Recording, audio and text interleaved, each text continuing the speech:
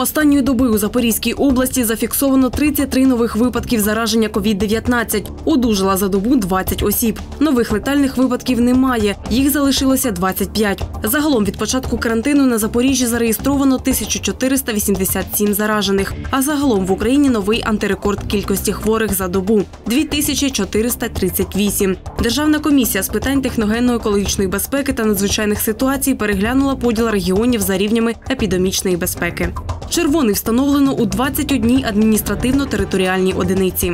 Ще раз хочу наголосити, що е, встановлення різних рівнів епідемічної небезпеки е, встановлюється виключно за конкретними цифрами, за конкретними показниками і під ситуації в, на території міста е, або району.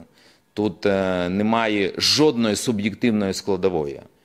Тому а, саме в такий спосіб ми і будемо далі працювати в умовах адаптивного карантину.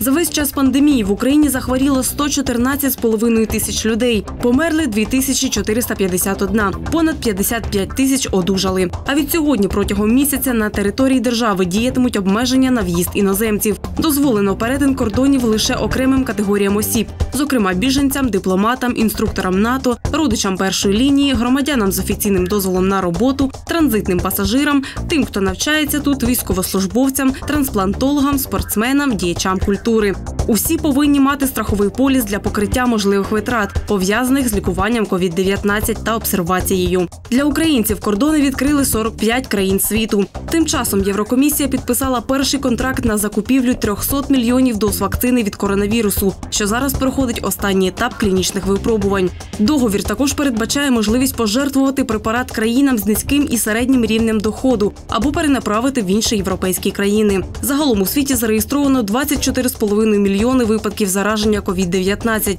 832 тисячі людей померли, понад 16 мільйонів одужали.